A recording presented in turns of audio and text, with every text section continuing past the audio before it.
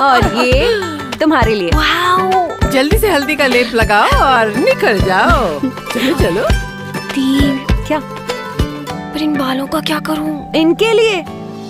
नया वीट निखार जिसमें है 100% नेचुरल टर्मरिक एक्सट्रैक्ट बस लगाओ अनचाहे बालों को हटा के निखर जाओ।